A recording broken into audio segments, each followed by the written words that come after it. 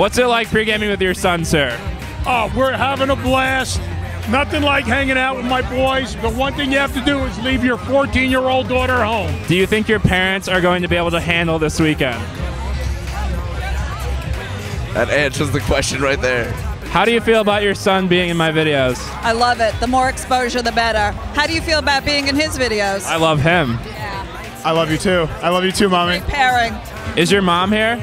No, she's not here. Where is she? She's back at home. If you could say one thing to her, what would you say? I'm sorry. What was it like fighting in the Civil War? Oh, thank you. What kind of father are you going to be?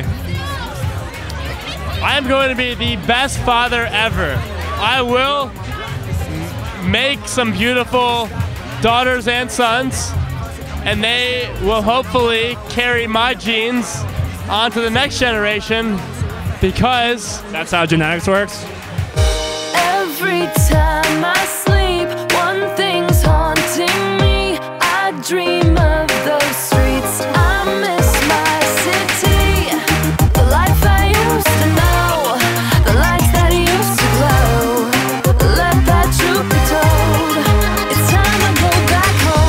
Best part is, since I'm paying for his college, I get to be here at the party. Hit up the homies when I'm back, show we'll kick it. What happened to your voice?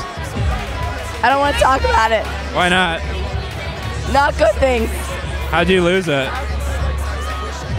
A lot of yelling. Anything else? No.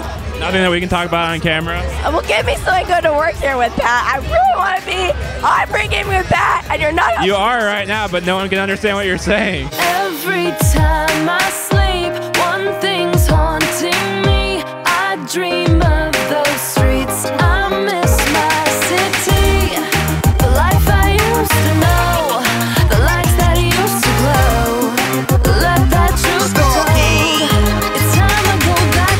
when I'm 80, I will be shotgunning beers at this exactly here.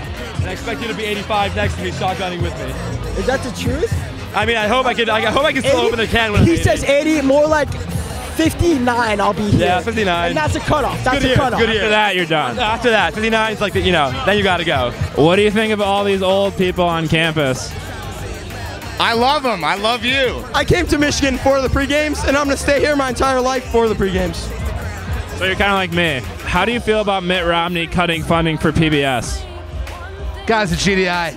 Why do you think guys always try to hold the mic? I'm not really sure why. Before I came here, I watched all of your videos. Yeah. No. Why aren't you outside today? You know, usually I be the one to make it rain. So when the weather like this, you know, I prefer to stay inside, maybe sip on a Four Loko, maybe with some greenery.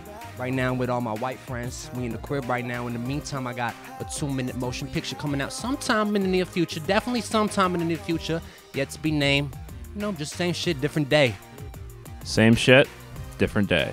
What's it like being sober at a pregame? It's weird because you realize like all the dumb shit you've done. Like I've like puked on that exact like podium, and now I'm sober, and I think everyone is annoying.